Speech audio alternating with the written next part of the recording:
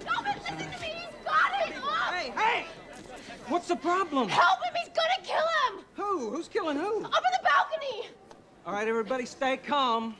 Get off of me! Uh, people just move back in your seats. Everything's under control here.